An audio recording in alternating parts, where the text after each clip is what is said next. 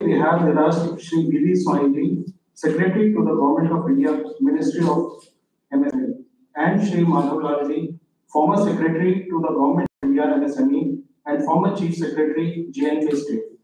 I also extend my warm welcome to Shri Sandeep Kumar Naik ji, Director General National Productivity Council, all the brokers are my colleagues and participants from various other organizations to take out their valuable time for making this fruitful session. I welcome everybody to this lecture on new frontiers for MSME in the budget year 23-24, organized under the NPC lecture series. Before we move ahead with the lecture on the topic for the day, I would like to give a brief presentation about National Productivity Council.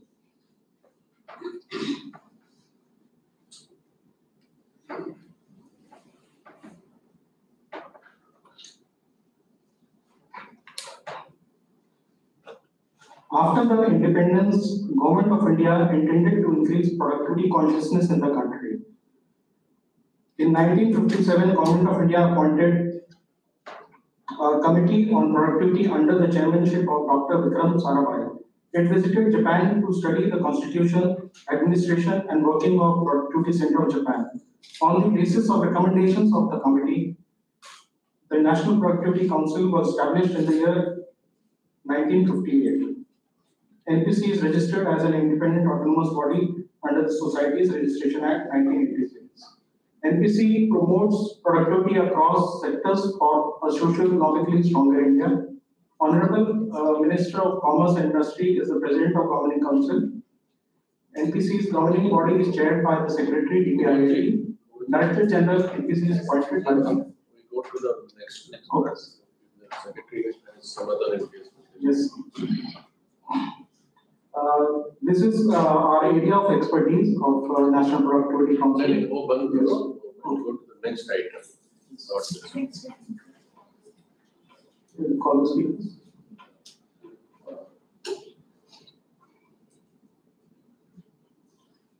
So may I uh, now invite uh, Shri Sandeep Nayak, Director General, National Productivity Council, for felicitation of guest speakers uh, by presenting them uh, saplings. I request DG NPC to welcome Shri B.B. Swainji, Secretary, by presenting the saplings.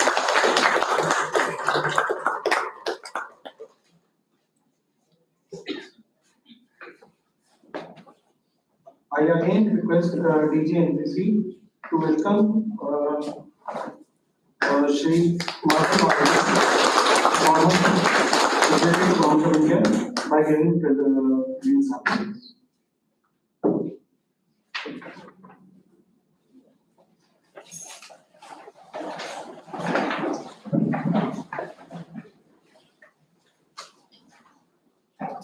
As we move on to the next uh, section of today's uh, program, uh, I would uh, now uh, like to introduce our uh, president of the session, Shri Madhav Lalji, who is former secretary to the Government of India Ministry of MSME and for former chief secretary, JNK State.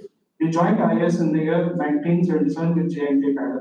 During his illustrious career, he has served in many districts of JNK Sanjapuj and Kalka, he has contributed to various domains during his service tenure, uh, like agriculture corporations, subdivision administration, personal management, institutional finance, economic affairs, industries, sales tax, labor and employment, home, public works, education, HRD, urban development, power, energy and road transport, environment and forest general administration, and as small scale industries. Uh, I now invite uh, Sir Shri Madhav Lalji, former secretary, sir, to, uh, for setting the context of the following lectures. Thank you very much and uh, grateful to Mr. Nair for inviting me over here.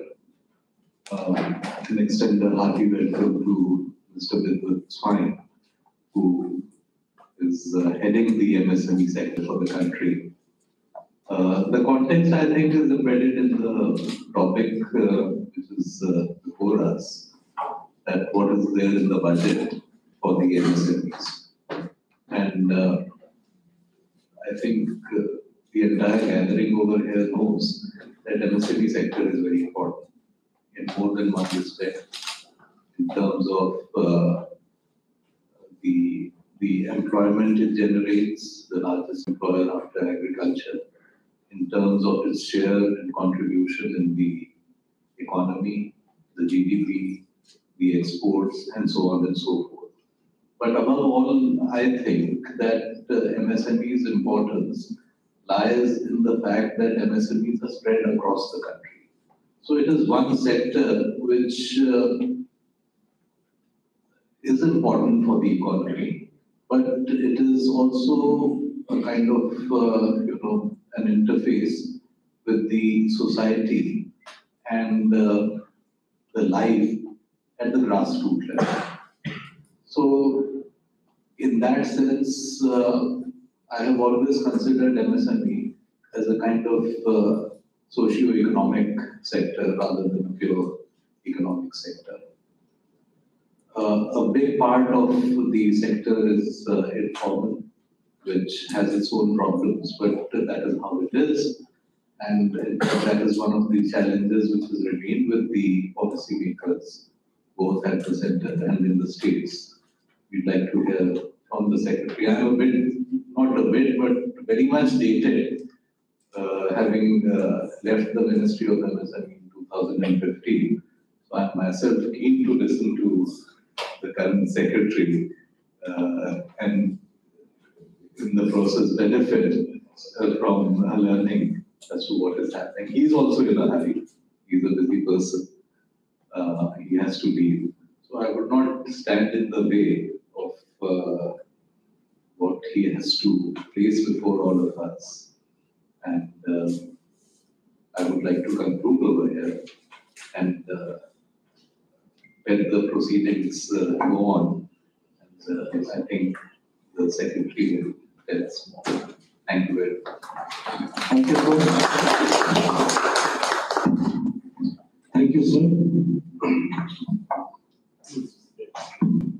Thank you, sir. My respected senior in the ministry actually, sir. Sir, I think you are DC and uh, you are secretary, and I think probably the longest tenure in uh, MSME ministry. I love that. Because people remember you and uh, almost every possible discussion in the ministry. So I can, uh, it's a great uh, privilege to report to you, sir, that you know very. And uh, people uh, remember you very fondly of your uh, tenure in our ministry, both as DC and also as secretary. So sir, it's it's a great pleasure to share the stage with you. Uh, It is a great pleasure to the stage He's not just my batchmate, he's like a brother for us. that- And we have known each other from our college days. uh, a relationship with, really both me and service, it's a different kind of a relationship which we have. So my thanks to Dr. Sandeep Naik for inviting me here. So I'm I'm quite brief on this, the mandate given is what are the new frontiers of scheme, does it twenty fifty So it's very, specific topic. Just a little bit of the data part of it. I mean, the GDP contribution of this sector is twenty-seven percent. Uh, if we compare with some of the very, very advanced economies, actually more than fifty percent. And we had a competition, so this basically means it's, it's a very high percentage of the budget, uh, it's of the GDP, but there is clearly quite a bit of potential. It's quite a bit of scope to go, go much, much. Into. Thirty-six percent is to the manufacturing output in twenty twenty-one. And it's the second largest employer. If we go by slightly older data, even of two thousand eleven census, the highest employment is provided by agriculture in this country, twenty-six point three one crore. At eleven crore, this is the second largest sector in employment. I'll also give you certain data regarding the registration process which is initiated in twenty 2020 we started a new practice, a new definition of God, which changed from the original definition of uh, plant and machinery to now plant and machinery investment plus common. This was a, quite a change from the original definition. And 2020 Udyam was started with the new definition in mind. Today the registration is it's real time so I can, I can actually check it out on my mobile at any point in time. Right now, the registration is one point five seven crore, which is quite obviously again a long way to go. Even if we go by a calculation of six point three crore on 2015-16, 1.57 crore is still a long way to go. But there is a very interesting thing which is coming out. The enterprises are expected to voluntarily declare their uh, employment level. Now, we know that, I mean, Baldev bhai will fully support me on this, that there is a natural reluctance. Nobody likes to say, particularly very, very small, very, very tiny investors would not like to declare their number of five, six, something like that. So this is a voluntarily declared. In one point five seven crore uh, population, sorry, enterprise, the voluntary declaration today is ten point two. Which basically means the people who are actually working in the sector is way, way above. Even the calculation which is done in 1560. That is why we, you can say a little bit of audacity to claim that in ten years, we should be the largest employment provider in this country. And that is the main ambition of this particular ministry and this particular sector. Because our core area is employment provision, pro- providing employment. Sure the way, at least our data and all suggest, that in the next decade, the number of people being employed in enterprise, and when we say enterprise, quite obviously, we include industries, we include services, we put all the sectors, trading included. We should be reaching, there's a presumption of reaching maybe around thirty-two crore kind of an employment level in about ten years. There is a vision which the ministry, every ministry has prepared in the recent times. Looking at 2047, 100 years from Indian independence, looking at forty-seven, what is it that the sector will be like? What is it that we, is our ask? What is it that is our ambition? Our essential ambition is to bring MSMEs into the formal sector. All the efforts which we are doing is towards formalization. To ensure access to affordable credit, this is definitely one of the major ambition. To carry technology forward. Today, we have, there's a limited reach to technology for MSMEs who could be in far-flung areas, who could be in very remote areas. Our ambition is to take technology to the smallest points. Create a sustainable and globally competitive village industry sector. This is definitely one of our major target, current village industries. Enhance the service sector. This is going to be important. Even if we look at statistics, it is almost 60 40. The services sector is increasing very rapidly in this country. Capacity building, skilling, and service sector is as important as it is of the traditional industry sector. Gender parity in entrepreneurship. We have 70 to 18 percent today, which are women-owned enterprises in this particular country. Quite obviously, a huge ambition of this ministry in this sector is to have a gender parity, very close to the gender parity. Because that is something which will again open the huge potential which exists in this particular sector. And ensure access to markets and enhance MSME sector of the exports. Today it is at forty-five percent, it is definitely one of the highest, but our ambition could be, which is very typical of developed economies, which could cross fifty percent, could be anything around 60%. That again is a major ambition which we have. I'll come now to the declaration, the four declarations which are most important. There have been eight to nine declarations because MSME, good for us, cuts across measures, it cuts across sectors. So every ministry, when you pick up a budget document, you'll find that something has been given, some MSME inclusion is there as well. But these four are what we have identified as the most important interventions, which are declared in the budget twenty twenty-four. The credit guarantees. The credit guarantees, there are two major challenges. One is over the last three to four years, the organization which we run called CGTMSE, which essentially focuses on micro and small. The, the spread is increasing from forty thousand crore per annum business. During COVID, it fell to thirty odd. Oh Quite obviously, that was, that was particularly point was resulting. Last year, it was sixty odd. This year, you'll be happy to know that it's going to reach hundred thousand. So hundred thousand crore will be the guarantee crore which will be given by our trust. But this hundred thousand crore also means live guarantee available is about one crore, fifty, one, 1 one lakh fifty crore. Fifty thousand crore at this point of time. There was an intention to increase this massive. We want our life guarantees to be almost covered. The ambition is very big.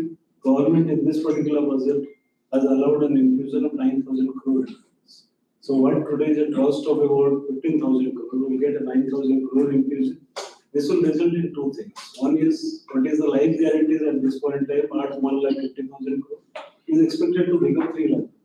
So there is a clear to, there is a higher level of credit. Credit gap is one of our biggest challenges. The credit gap, the essential, credit gap and the equity gap, two are the biggest challenges in the sector, the credit. And this will add to two hundred thousand crores to that particular credit level. And the second thing, the industry asks, there has been, this is the average ticket size is not very big. It is actually eight to nine lakhs. That is the typical ticket size. But there has been a very genuine, very genuine kind of a concern that along with the interest rate, we are adding on the interest, uh, guarantee fees, which incidentally one and a half years back was running around two percent. Then they said that interest actually, it is a very, very high level of interest because you are taking guarantee fee of two percent. There have been certain actions in the last two years.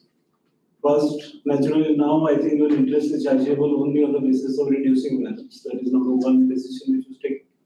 Number two decision was taken that in certain kind of cases and certain kind of targeted groups, we reduced it massively. So today it is averaging from two, it has fallen to one point three. This infusion will take it to 0.5. So that I think is quite a game changer as far as the concept of guarantee or um, a kind of a loan is concerned, it's going to be game changer. So something falling to as low as 0.4, 0.5 would definitely help industries. And this highest will be in the lowest ticket size. Naturally, there will be certain gradations, but if you look at the zero to five lakhs, you would actually see very, very low drop, be very sharp. And I'm quite sure it will be great, greatly helpful to the enterprises. The second one, which I think is a very, very important decision, is to ensure the timely payment. The government has included payments made to such enterprises within the ambit of forty-three B of the. This is, I think, a very, very important intervention in the concept of delayed payments. Because if you do not do this payment, you are not also getting the benefits, not even taken into account your income tax as an expenditure. This is going to, I think uh, it will go a long way in definitely solving the problem of the delayed payment, which is, which is, has always been an issue. One specific thing which has been done in this particular budget is with related to COVID. Ninety-five percent of the profited amount relating to breed of performance security. Under Vivad Se Vishwas One, relief for MSMEs initiative. In case of non-executed contract during the COVID period will be returned. This, I, I would say, is something which the industry has and something which government has finally given in a very, very positive way. That this was your problem, then we are going to return it. The fourth thing which is in some ways far more significant than this particular three is that government has brought in a scheme called Vishwakarma Kaushal Samman. It's called PM Vikas in short. This is something which is going to aim the traditional artisans and craftsmen. A very simple, very, very simple definition of this particular scheme is it targets people who work with hand, work with their hand with tools.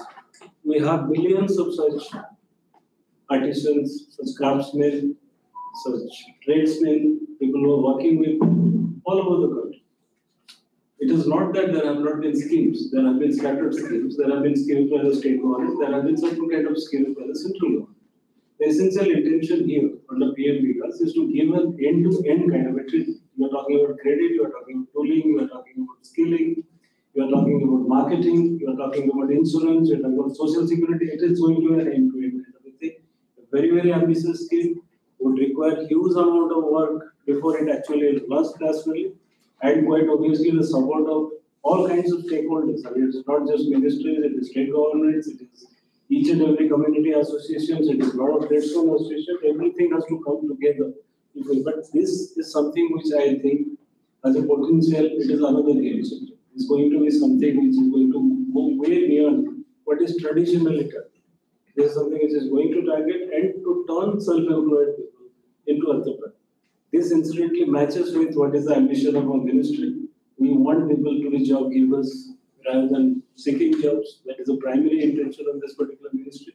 And we feel pain because with the help of all ministers and all stakeholders, to absolutely from the grassroots level, will be success and this should be one of the biggest gains. I'll stop here. Thank you so much. Thank you for listening.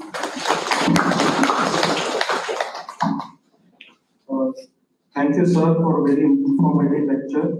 I would uh, now request Mr. G. Savanan, Director and Group Head. Hold on, hold on. Yes. Open for discussion. Yes, yes, please. Any Observations or something? Now we listen to the, listen from the dignitaries. Anyone is having any points to be conveyed or any, we can take some two, three questions. Thanks.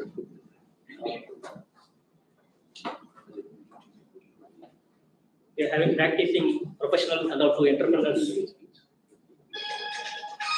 Which points, anything?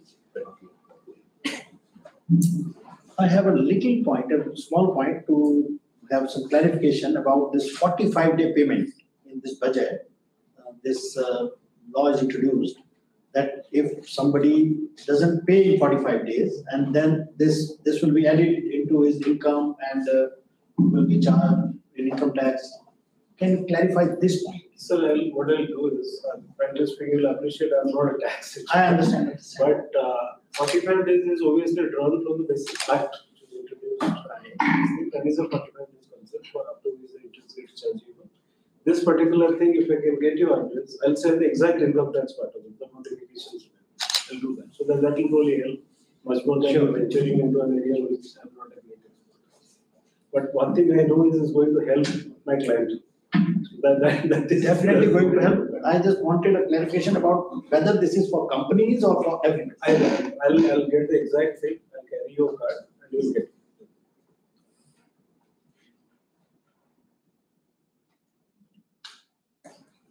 Thank you, sir. Thank you, sir.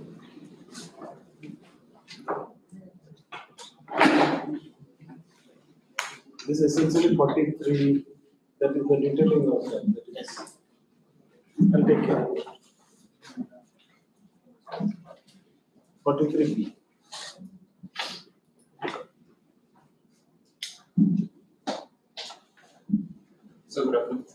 Um, sir, actually, Ministry of Corporate Affairs has released uh, national guideline on responsible business conduct. So, MSMEs are contributing nearly twenty-seven percent of industrial output. So, sir, is there any plan of by government of India to implement these principles for MSMEs, that it can be a sustainable up? Sustainability and such factors are definitely very, very important. There is, I mean, it it is very much part of the plan. Many of the schemes which we implement, things through MBA, the change in the lean and all, they have a direct relationship with the sustainability. But if you are referring to creating, I mean, kind of indicators, what is the exact word? Sir, BRSR, uh, ESG, ESG and all this component, yes, we, we have some deliberations going on with sister organization. Let us see how we, do. we're definitely working on that.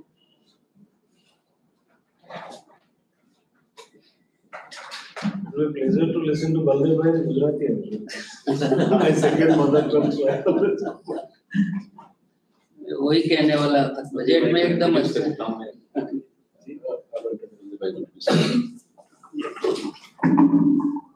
अच्छा वैसे नमस्कार doctor लघु उद्योग भारती हमारे देश में micro small industries को सर्व करने वाली, उनको रिप्रेजेंट करने वाली सबसे बड़ा संगठन है देश का। हमारे देश में लगभग 700 रेवेन्यू स्कीम्स है and out of that almost 550 में लघु उद्योग भारती का फुटप्रिंट है। और आज संजोग से हमारे बीच में लघु उद्योग भारती के national president all India president Shri Baldev bhai Prajapati ji Ankleshwar से हमारे बीच में आए हुए हैं।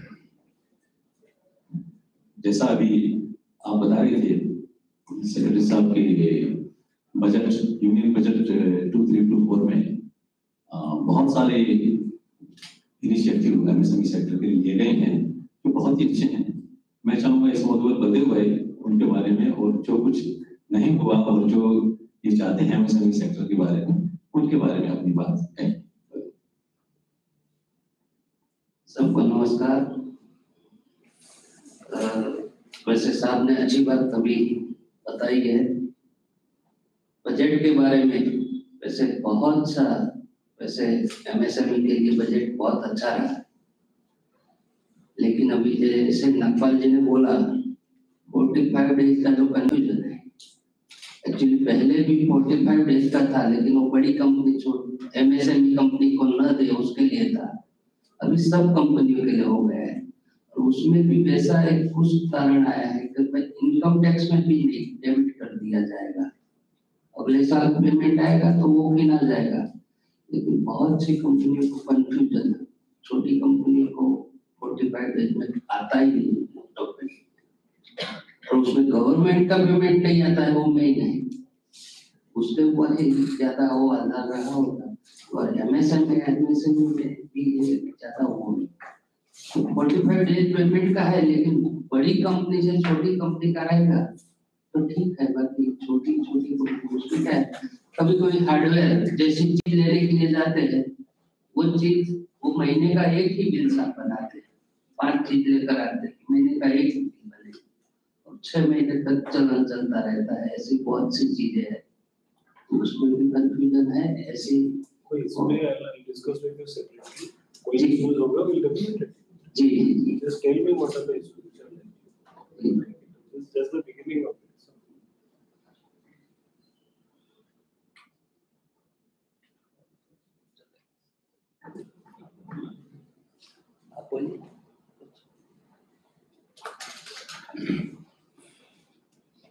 I think um, so, I for the closing remarks. Okay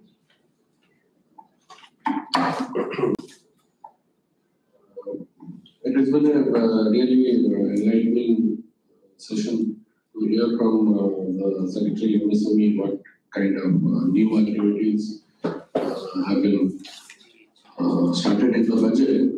And also from a very selfish point of view, NPC has a big interest in these new activities that definitely NPC will benchmark its uh, services in those activities. Uh, And also this is an occasion to welcome to NPC uh, uh, uh, the the MSME uh, Federation, the local productivity councils from Delhi and Greater Noida, and also the wider audience in the uh, live stream which is going on in the, uh, the NBC channel.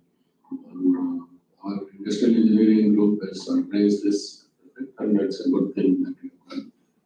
And uh, I think uh, formally, I'll also thank my uh, superior uh, senior in the cadre and all, under whom I have worked for several years. Sri Madhavlal was sparing his time to come to NPC and uh, be part of this occasion.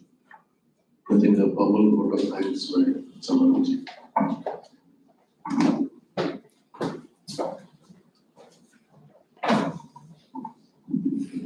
Namaskar. It's my privilege to deliver the vote of uh, thanks for this session. First of all, I thank uh, Sri B.B. Swainji for taking a time out of his busy schedule and uh, interact with the practicing professionals and also from the MSME units. Sir, we are very happy to hear from you that MSME sector is the second largest uh, employment producer and the ambition is much more higher for us that uh, MSME sector is going to be the, or our ambition is to have that as the largest employer in the next decade. We are also thankful to you for highlighting one of the major problems MSME sector is facing like credit guarantee and also the payment thing. Moreover, we are very thankful that you interacted very closely with MSME units and uh, listened to the problem, given assurance that uh, you will get back to them. Thank you very much, sir, for using this uh, platform.